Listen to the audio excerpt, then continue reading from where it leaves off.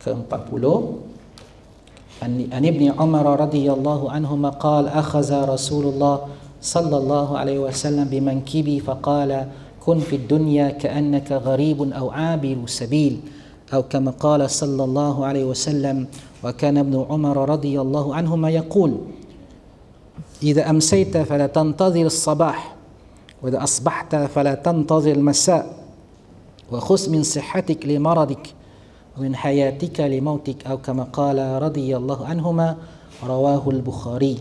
Maksudnya daripada Abdullah bin Umar radhiyallahu anhuma berkata Rasulullah sallallahu alaihi wasallam memegang bahuku lalu bersabda kun fid dunya jadilah kamu di dunia ini seperti orang yang asing atau orang yang melintas di suatu kawasan.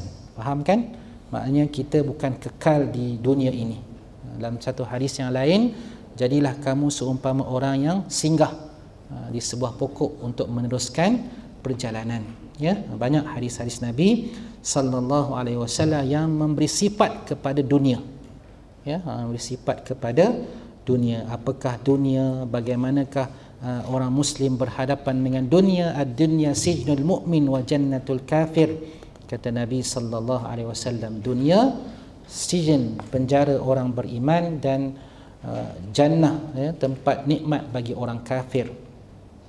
Maka kita lakukanlah dunia ini seumpama tempat persinggahan ya bukan tempat untuk kekal selama-lamanya.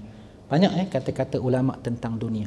Sehingga Umar bin Ibnu Umar bin Al-Khattab radhiyallahu anhu berkata ha, kalau begitulah jangan kamu tunggu kalau kamu berada di waktu petang jangan tunggu sampai pagi jika kamu berada di waktu pagi jangan tunggu sampai petang ha, buatlah kebaikan kalau mampu segera maka segeralah ha, jangan tunggu-tunggu ya kerana kita tak tahu bilakah waktunya kita akan dijemput oleh Allah Subhanahu wa taala. Ambillah peluang dari waktu sihatmu untuk waktu sakitmu dan untuk daripada waktu hidupmu uh, untuk waktu matimu. Kama qala sallallahu alaihi wasallam.